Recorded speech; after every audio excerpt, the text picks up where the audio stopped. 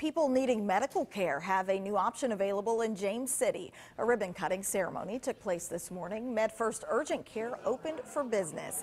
This is the clinic's second location to open in the, New, in the New Bern area. It's also a family practice. New Bern Mayor Dana Outlaw described the impact.